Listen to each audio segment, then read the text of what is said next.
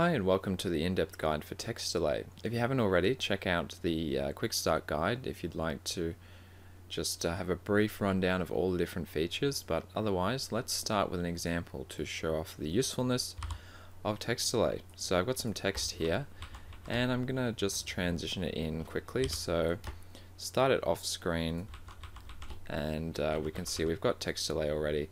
So that's the default and then what I want it to do is maybe scale up a lot. And uh, that looks good. So I'm going to apply elastic out to these.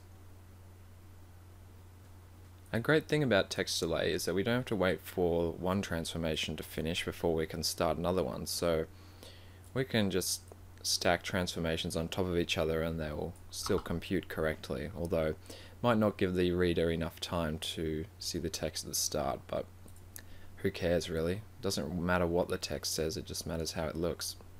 I kid. Okay, so uh, that looks good. Let's turn on the motion blur. And um, then to transition it out, I want to change the uh, order modifier. I want it to go from right to left. So as soon as we've finished this uh, transformation. Let's go to the order modifier and set that to reverse and then we can get the position to go out. And uh, this is a bit of a problem. If we move the position out like that, we can see we're getting it cut off. And the reason for that is that the text is here.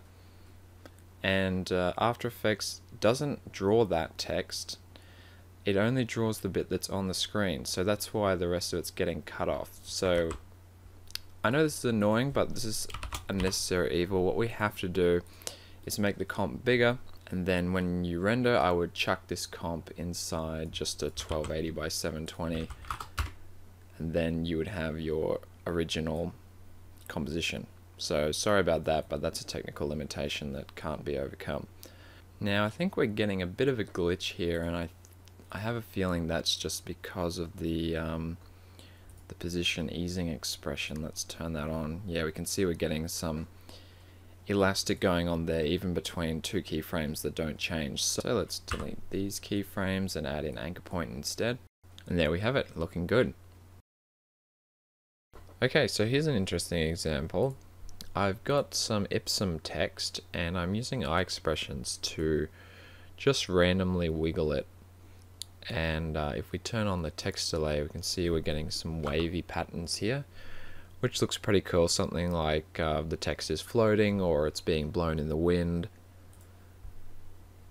And we can drastically change the look of that depending on uh, say increasing the tracking to a lot or increase the leading I think this is called I'm not sure. Uh, let's set that to something really high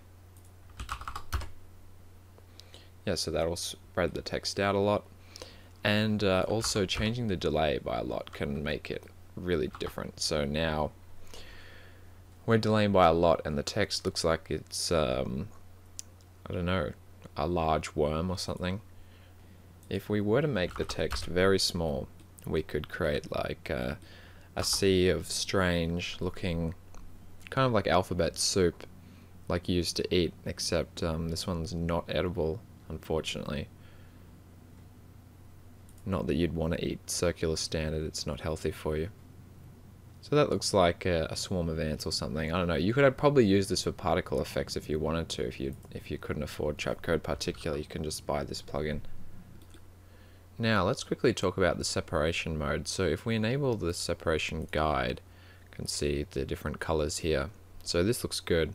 All the characters are sort of separated and uh, we have word which separates them by word.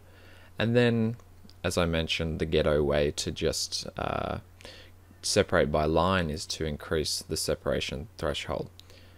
Um, if you were to go separation character you maybe could um, nearly separate by line but actually we can't on this particular example because the separation threshold max of 200 isn't enough. So uh, separation mode by word also has a few optimizations, so I recommend always, if you want to separate by line, always select separation mode word and then get the separation you want uh, because it's going to be more efficient. But if you want character, obviously you'll go with character and uh, set it to whatever you like. If we were to say use an italicized font, we or if we had uh, less tracking here, we can run into problems where we're getting sort of glitches here and that's because it's drawing a little box around the letter and actually selecting a bit of the other letter. So what we could do is instead of having the tracking here, we can set that one back to zero and then we can do the tracking in the tracking tab. So we've got the tracking modes middle, left or right which are the same as the paragraph justification modes and then we can make the tracking as small as we want here and then we won't have any problems with the separation. So I'll just set this to a value that would let us be correct and then we're not getting any artifacts. Now let's do another fun example. So what we can do is grab the mask tool, draw the circle, copy the path, paste that into position, and that's sort of the effect that was in the preview video, although that looks a little boring because we don't have any ease. So let's go to the, um, the graph here, and instead of the value graph, we want to look at the speed graph. And we can see it's pretty boring. It's just constantly linear. So I'm going to drag this one to zero, stretch that out a lot, and then drag this one to zero, stretch that out the same lot. Although that looks probably a bit too extreme. Let's just go two bars each.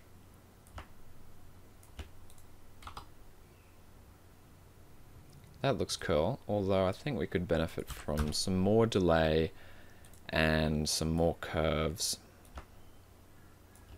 Two and a half. And then we want to turn on motion blur. And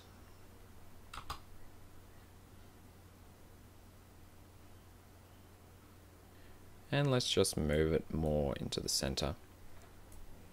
And there you have a fun loopable animation. We like to have fun here.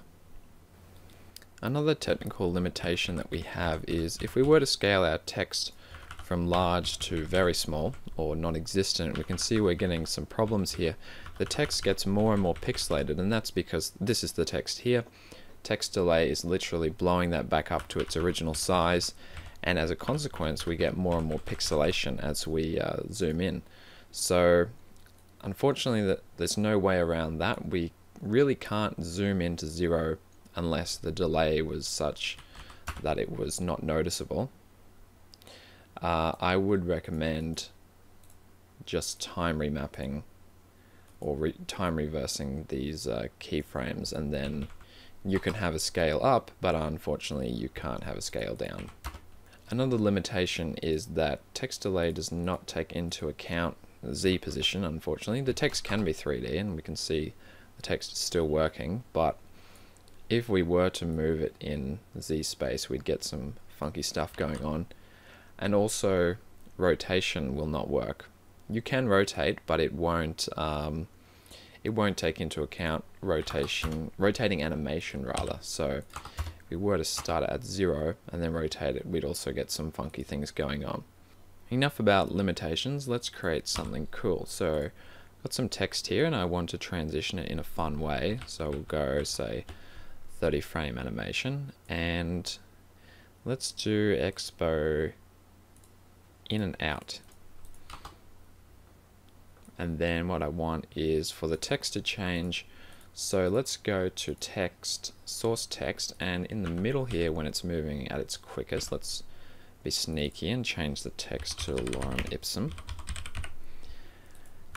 And uh, we'll hide that in the motion blur when we have text delay.